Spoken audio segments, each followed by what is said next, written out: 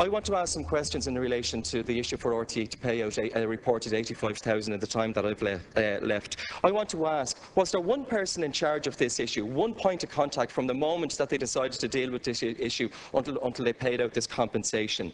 And on what decision did they decide to pay out this compensation? It's quite clear, Cathaoirleach, from the information I have received from various sources, that, that, and including from the Managing Director in his own press release, where he says that the legal position was far from clear.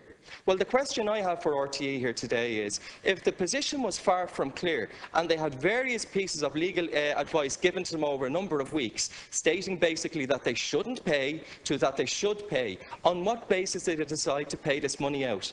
Finally, Cathaoirleach, because I know I'm over time, what I want to say is I know that the legal advice that RTE uh, uh, used uh, to, or sought to pay out this money is a privileged position and we are not uh, entitled to it. But I believe that there has to be a political will in in, the, in the interest of the national public to find out on what basis they paid this out. Because I certainly believe that RT were wrong to pay out this money um, on what was essentially an anti-gay prejudice issue that people were challenged on. Thank you, Cathaoirleach. Thank you.